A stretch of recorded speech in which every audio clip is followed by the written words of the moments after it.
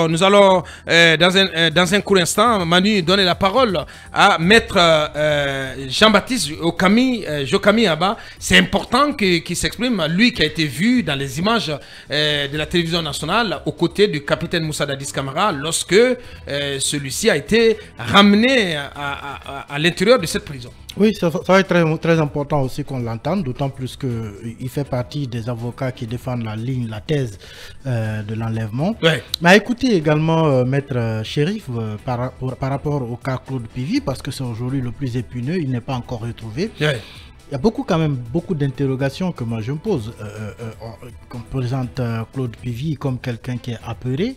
on a quand même connu Claude Pivy dans l'armée et, puis on a vu également lors du procès du 28 septembre un homme qui n'avait pas l'air d'avoir peur d'être apeuré par quoi que ce soit. D'ailleurs, mais, mais, attention, Manu, en pareille circonstance, il peut bien être apeuré. Oui, ah oui, attention. C'est peut-être possible, mais j'essaie de m'interroger. Si tu permets, Manu, on, va retourner au stand pour euh, joindre maître Jean-Baptiste euh, Yokami Abba, avocat, un des avocats du capitaine Moussa Dadis Kamara. Il est en notre compagnie. Bonjour, maître euh, Yokami Abba. Bienvenue.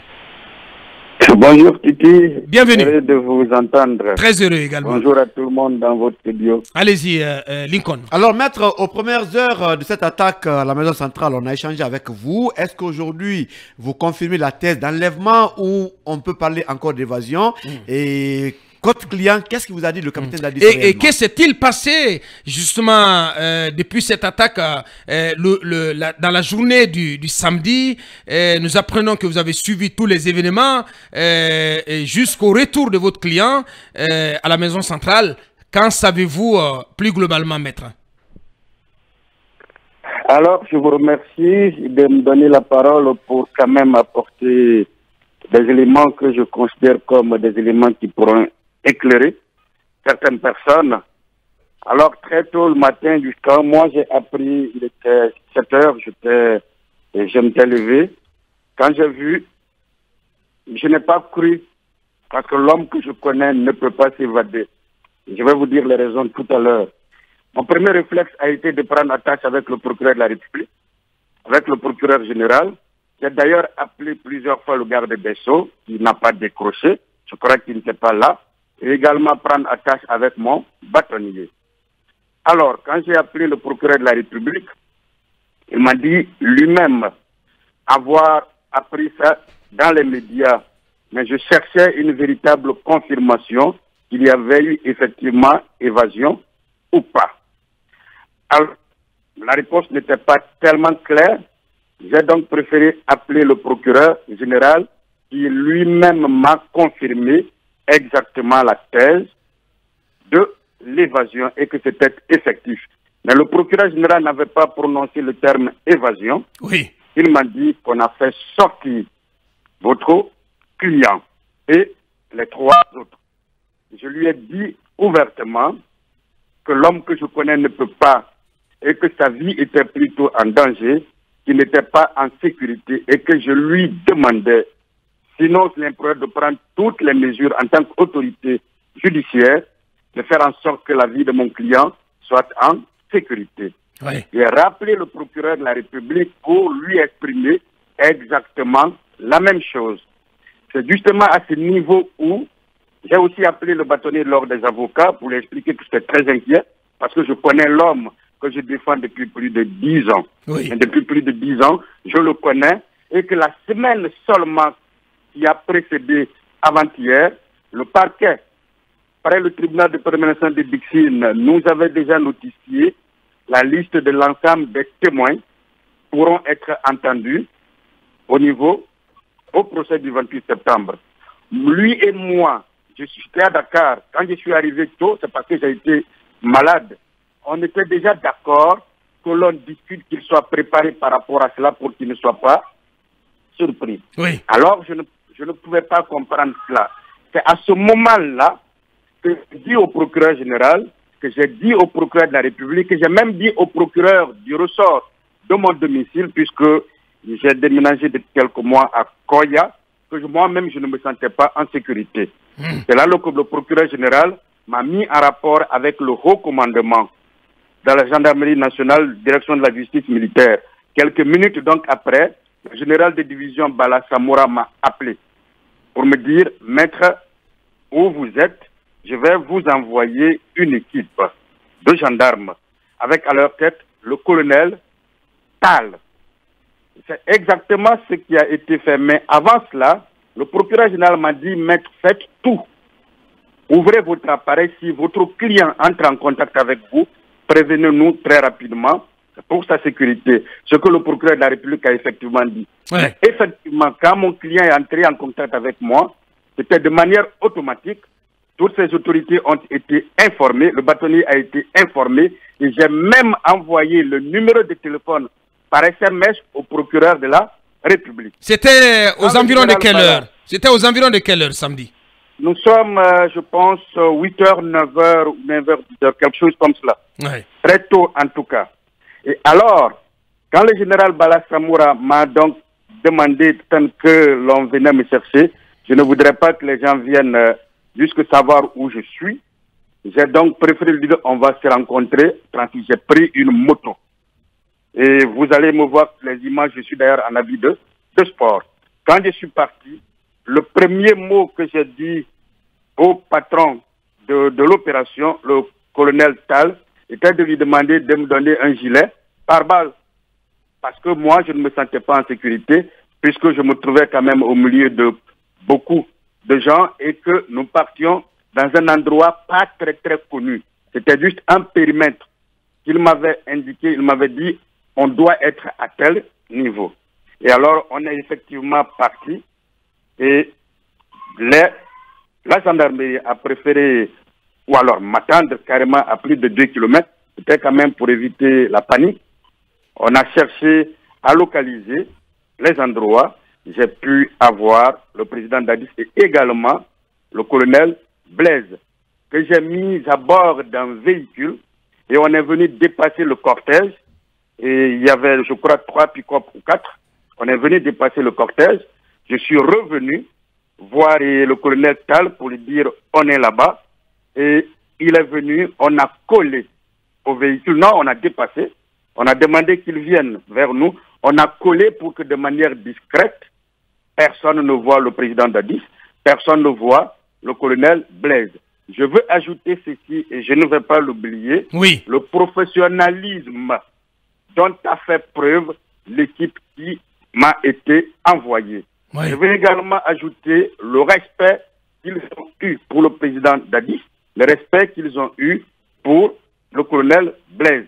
C'est à partir de là qu'on est monté dans un cortège qui filait, comme vous connaissez comment les cortèges filent, et que à ce moment-là, je rappelle que pendant tous les déroulés des événements, j'étais en lien direct avec le procureur général, en lien direct avec le procureur de la République, en lien direct avec le recommandement et en lien direct avec le, le bâtonnier. Et d'ailleurs, quand le président a été récupéré et mis à bord du véhicule, il a même discuté avec le, le procureur de la République sur mon téléphone. Mhm.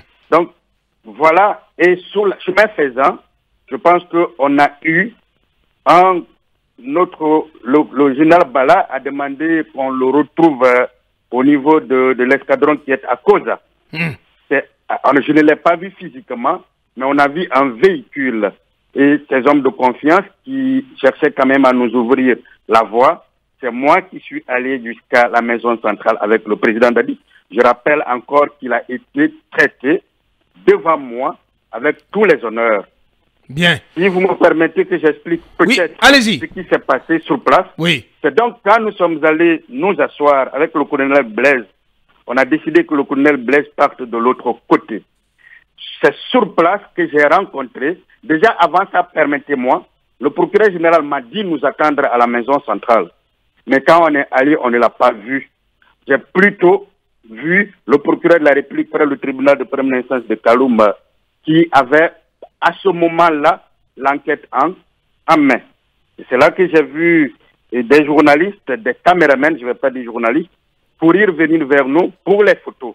Le président Dadi s'est levé pour dire ne le faites pas. Moi, je me suis levé pour leur dire attention, il a droit à l'intimité de sa vie privée, il a surtout droit à son image. Vous n'avez pas le droit de nous filmer comme cela alors qu'il ne le sait pas. Le procureur de la République est venu vers moi, il m'a tapoté les épaules et il m'a dit, maître, c'est bon, on va les laisser faire ce qu'ils ont à faire et de toutes les façons, ils ont m'a reçu des, des instructions. Alors ils ont filmé et c'est à ce moment-là que j'ai vu et Monsieur Moussa Moïse et il est venu vers moi pour me dire, euh, maître, vous avez été le Moïse sauveur aujourd'hui. Ça a été très bien que vous interveniez. Voilà exactement ce qu'il m'a dit. On s'est salué. Lui-même est allé saluer. J'ai montré où était le colonel Blaise. Il est allé le saluer. Il est surtout retourné saluer le président Dadis. Et les enquêtes avaient tout de suite commencé.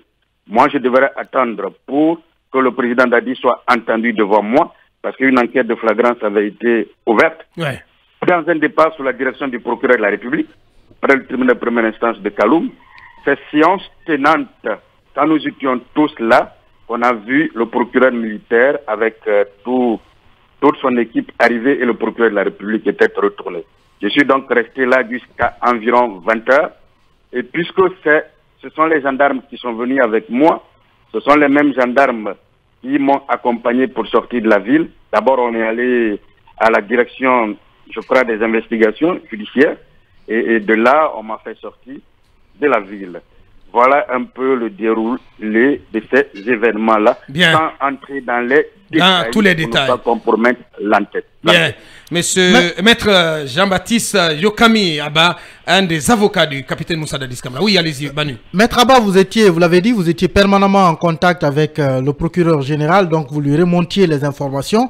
Euh, comment vous comprenez que dans son communiqué, justement, qui a suivi euh, les événements donc à la maison centrale, il a tout de suite instruit le procureur du tribunal militaire à ouvrir des enquêtes au fin de procéder, enfin, des instructions au fin de procéder à des enquêtes sur des faits d'évasion, détention illégale d'armes de guerre. J'insiste juste sur le mot évasion. Comment vous comprenez qu'il parle d'évasion alors que, euh, comme vous l'avez dit, vous lui fournissiez les informations et que vous, vous parliez plutôt d'un enlèvement.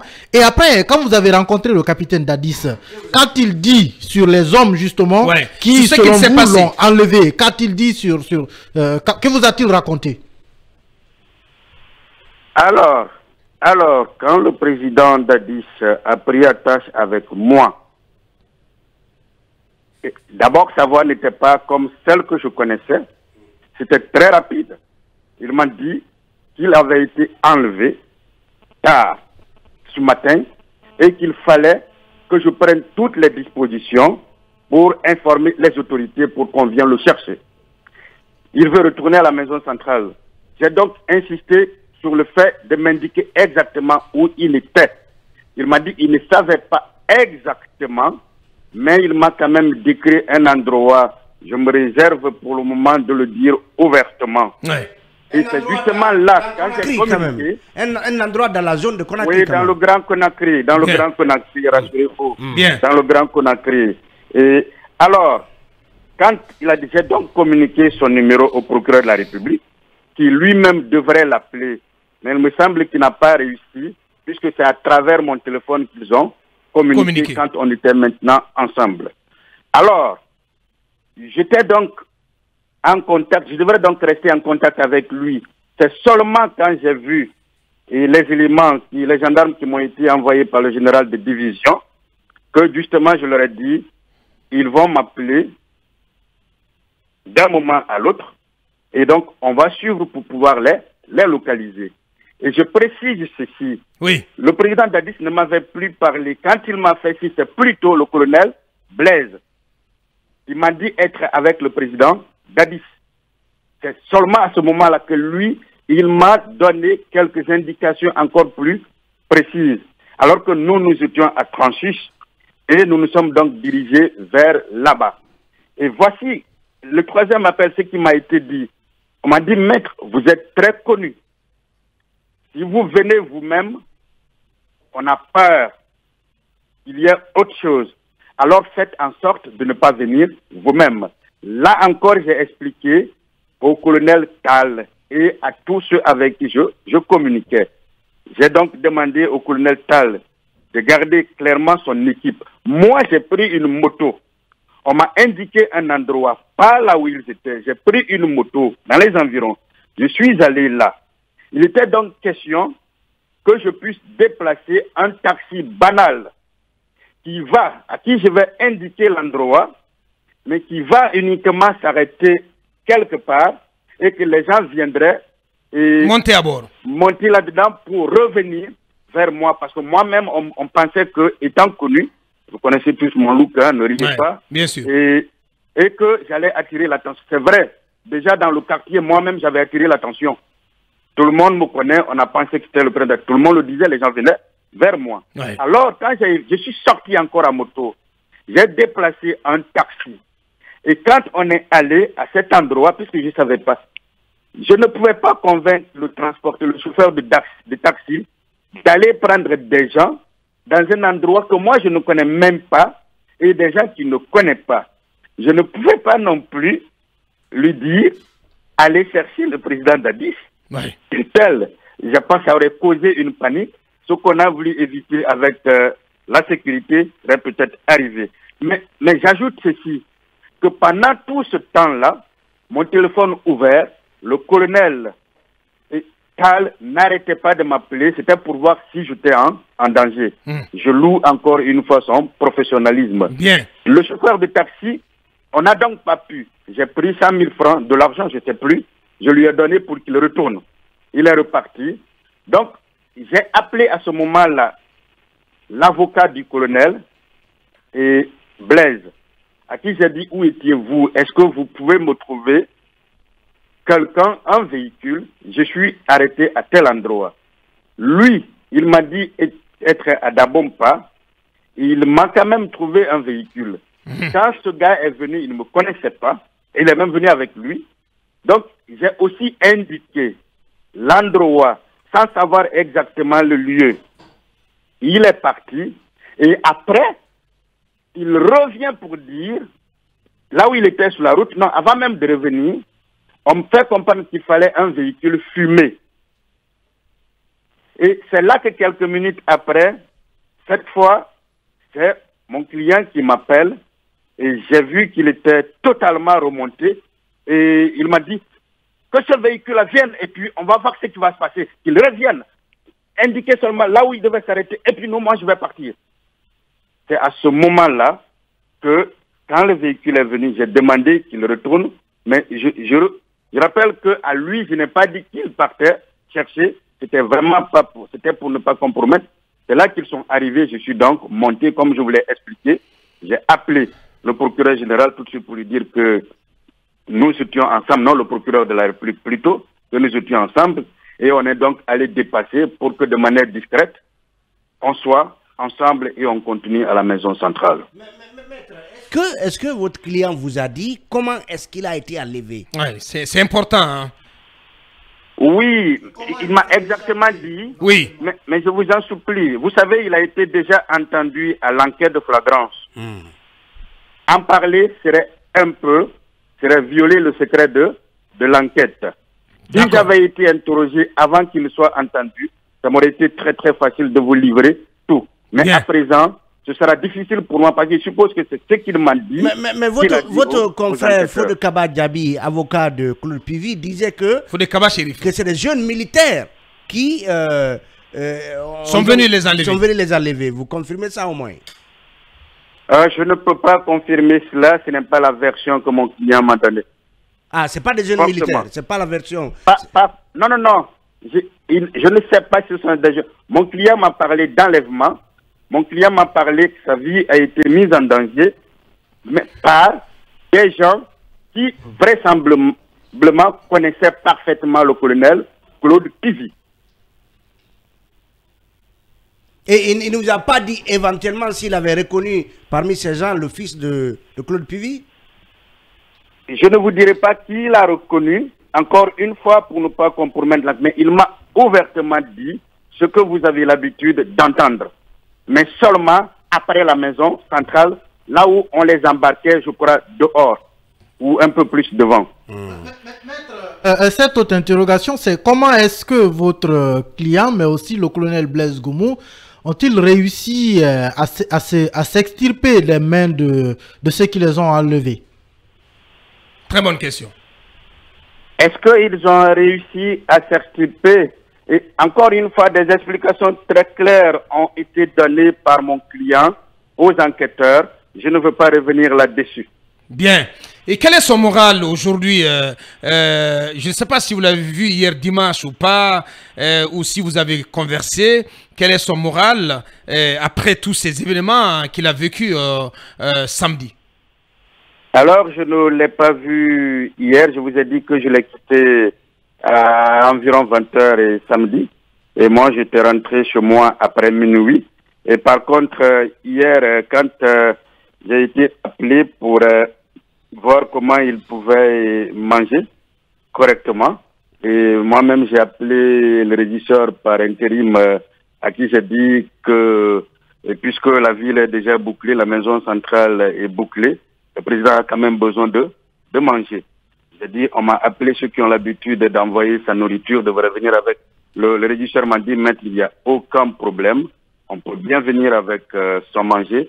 Quand ils arrivent, ils me font un signe cela va être fait. Effectivement, celui qui est allé avec son manger, bien que ne l'ayant pas vu physiquement, m'a ouvertement dit euh, euh, il a reçu. Mais j'ai demandé au régisseur s'il allait bien, s'il se portait bien, s'il était retourné dans sa cellule. Le régisseur m'a dit qu'il allait bien et qu'il était dans sa cellule. Je suppose que c'est la même cellule où se trouvait. Bien. Dernière question. Euh, euh, maître, euh, votre client vous a-t-il exprimé des regrets ou a-t-il fondu en larmes une fois arrivé à la maison centrale? Puisqu'on a beaucoup d'informations. Et mon client a été enlevé. La vie de mon client a été mise en danger. Si vous me permettez que je vous dise deux mots en une minute peut-être. Oui, allez-y.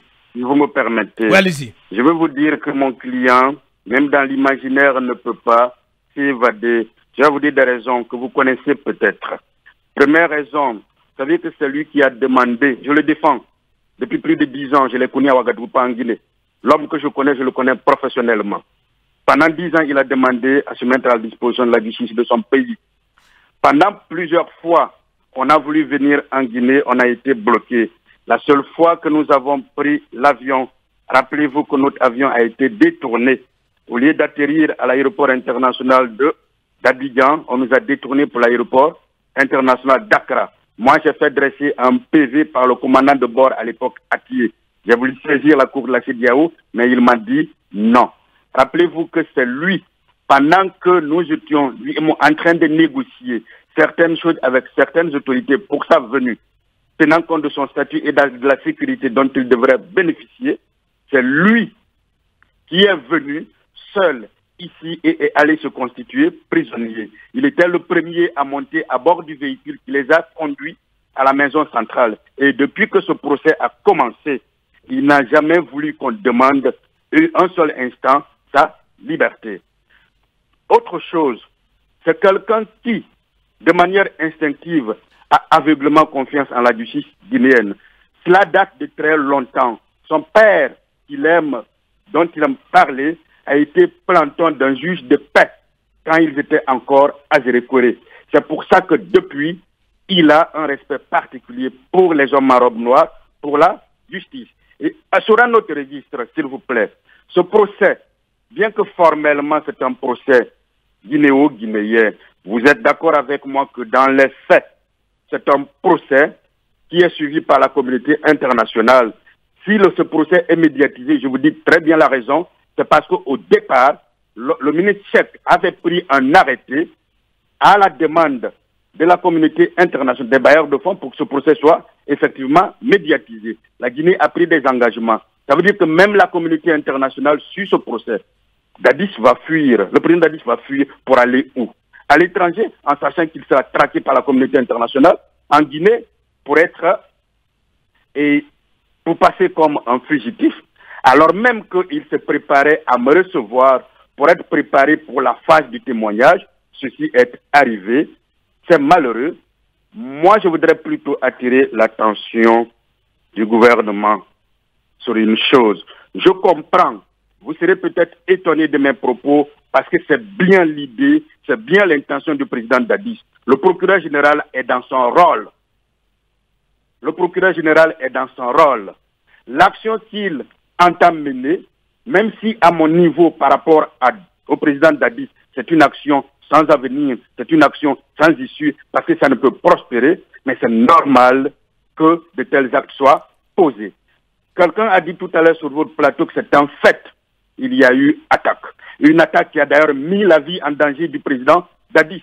Une attaque qui a clairement indiqué les failles sécuritaires.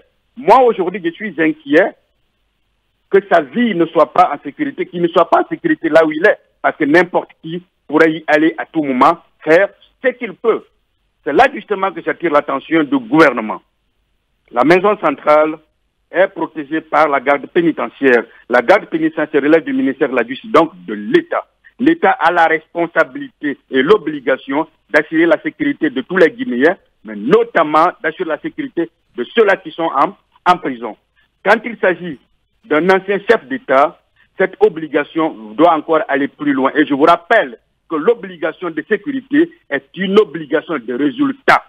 Ce n'est pas une obligation de, de moyens. Laisser un président, un ancien président, pour son compte, l'exposer pour ce qui s'est fait, pour moi, c'est mettre sa vie en danger. C'est pourquoi je suis en train, j'ai déjà préparé tout.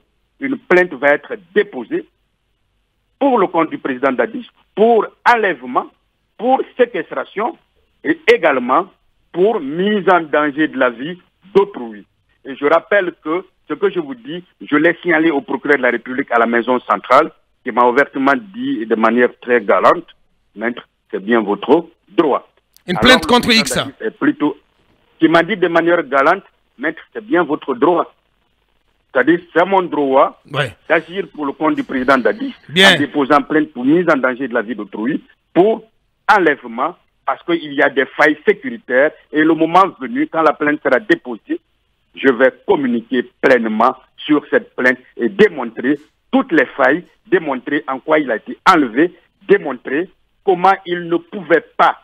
Nous, nous sommes en train de parler au téléphone, mais lorsque, à 5 heures du matin, un commando arrive vous n'aviez même pas le temps de discuter. Vous n'aviez même pas le temps de discuter. Bien. Et nous aurons l'occasion de parler de ces éléments-là très prochainement. Très prochainement. Allez, on a fait le plein pot avec vous. Grand merci à Maître Jean-Baptiste Yokami avocat, un des avocats du capitaine Moussa Dadis Kamara, ancien président de la transition. Merci d'avoir euh, répondu à nos questions ce matin, Maître. Je vous remercie Titi et je reste disponible pour vous. Grand respect. Allez, nous marquons la pause pour euh, euh, la deuxième fois dans cette émission et toutes nos excuses à nos sponsors. On revient pour donner la parole à, l'ancien Premier ministre François Fall et à l'ancien ministre euh, Monsieur Baouri, et sans oublier aussi Madame Assatou Ba de la FDH. Nous sommes de retour dans quelques minutes.